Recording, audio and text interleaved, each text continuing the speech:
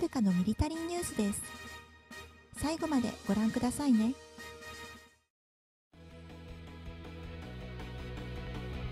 こんにちははるかです。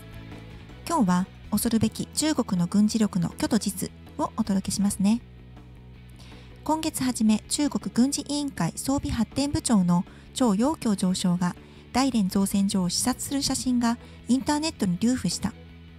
写真の一部を通じて中国が独自の設計と技術で開発した初の国産空母が公開された。これまで軍事機密として何でも隠そうとしてきた中国軍部がルーフという形で空母を見せたのは意図的なものと解釈されている。中国はウクライナから導入した退役空母を改造して2012年9月に遼寧を収益させたが現代戦で活用するにはいくつか制約があった。このため今回初の国産空母を自慢しながら中国海軍が米国海軍に匹敵するほど成長したということを全世界に知らせようという狙いがあったとみられる。さらに中国海軍は2020年に空母4隻を含む351隻の巡洋艦駆逐艦潜水艦などの戦力を保有する計画があるという。これに向けて2011年から大型艦艇を毎年15隻以上も建造している。これは大変な数値だ。一方米国は2046年までに292隻の戦闘艦艇を建造する計画だ。中国海軍が少なくとも艦艇の数で近く米国海軍を上回る可能性もある。このような中国軍の戦力増加を見ると恐怖を感じる。しかし中国の軍事力をもう少し詳しく覗いてみると話は変わる。多くの軍事専門家は中国が米国と対等な戦力を保有するにはまだ多くの時間がかかると見ている。中国の初の国産空母がその代表的な事例だ。この空母は選手がスキージャンプ台のように上に向いている。キャタピラーという射出機の開発に失敗したからだ。米国の空母は全てキャタピラーを備えている。キャタピラーは艦載機にかけて離陸速度を加速する装置だ。ゴムがついたパチンコがキャタピラー関西機がパチンコにかけられた石と考えれば理解しやすい。米空母のキャタピラーは蒸気で動く。1992年に実戦配備されたジョージ・ワシントンの場合4つの射出機がある。これを通じて20秒ごとに関西機1機の離陸が可能だ。2013年に浸水したジェラルド・ R・ フォードからは電磁気推進のカタパルトにさらにアップグレードされた。一方中国はまだキャタピラー技術がない。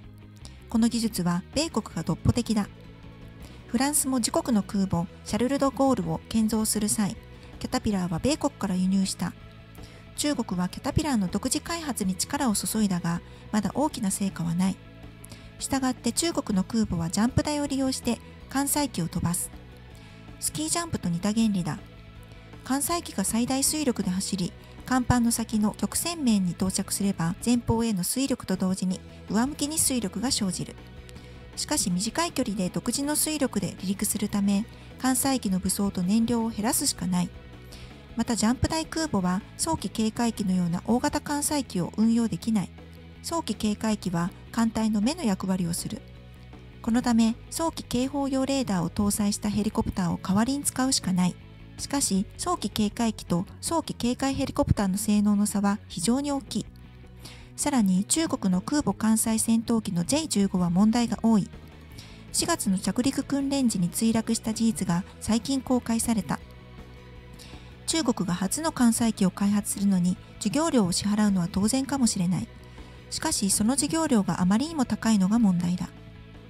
カナダで出版される中国語軍事情報誌「緩和防務評論」は5月。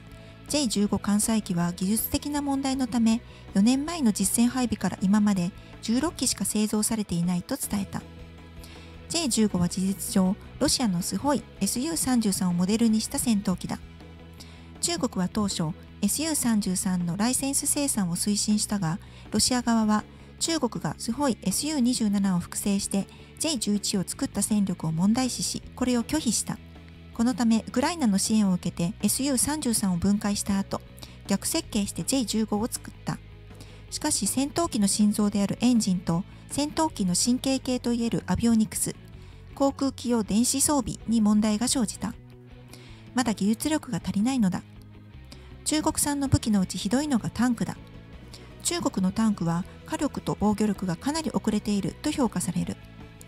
ロシア・モスクワでは先月30日から今月1日現地時間までタンクバイアスロンが開かれた。タンクバイアスロンとは複数の国のタンクが参加し障害物を通過して目標物に砲撃をする実力を競う大会だ。中国からは今年自国の最新型戦車96式 BZTZ96B が出場した。しかしこのタンクは障害物区間を走行中に機動輪が外れた。大会を参観したロシア軍事専門家は中国タンクの砲塔には何もないと書いた。大会で勝つために外部燃料タンクや装甲などを取り除いて重さを減らしたということだ。この軍事専門家は中国タンクのトランスミッションに問題がありエンジン最大出力は1200から1300馬力というが実際には1000から1100馬力と評価した。中国は昨年の軍事費が2148億ドル。約22兆円とアジア全体のほぼ半分を占めたとスウェーデンのストックホルム国際平和研究所が明らかにした。また米国をはじめとする西側国家の技術をハッキングして盗み出した疑いを受けている。それでもまだ中国の武器は西側国家には追いついていない。その理由についてアメリカ US サンディエゴ大学の張大明教授は中国防衛産業の独占的構造官僚主義旧時代的な管理手段不透明な価格決定システム腐敗などを指摘した。もちろん中国は大国クッキ強大国への浮上に取り組みこうした問題点を改善するだろう。しかし現在の中国は少なくとも軍事力では実物よりも大きく見える鏡の前に立ちはだかる姿だ。過小評価に劣らず過大評価も危険だ。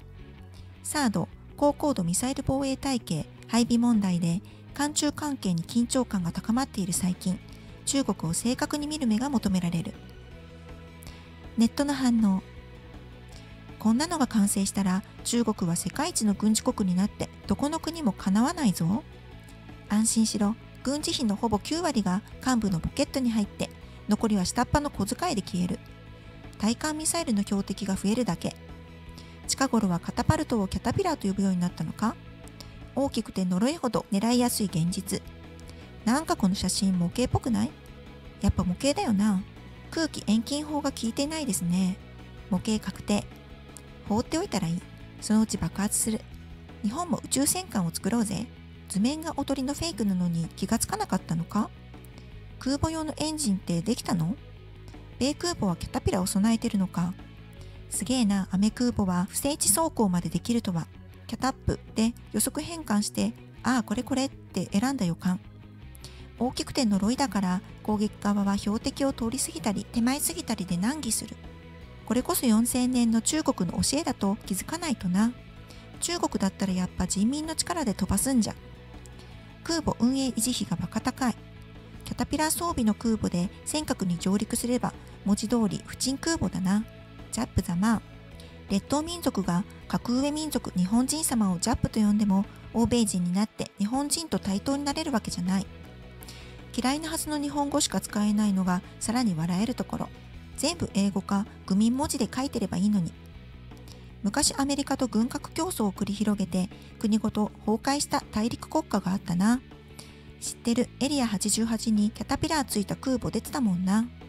あの空母砂に潜ることができたけど海上船で潜水するやつがいずれ出てくると大真面目で話してたら大笑いされたことがある。以上、はるかがお届けしました。他の動画も見てくださいね。はるかです。最後までご視聴いただきありがとうございました。